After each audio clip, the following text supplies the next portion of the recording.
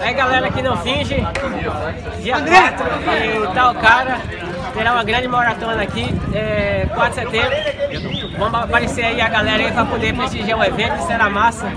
Vamos curtir aí as montanhas também. E tá tal cara é o cara, vamos dar cara na prova. Ah,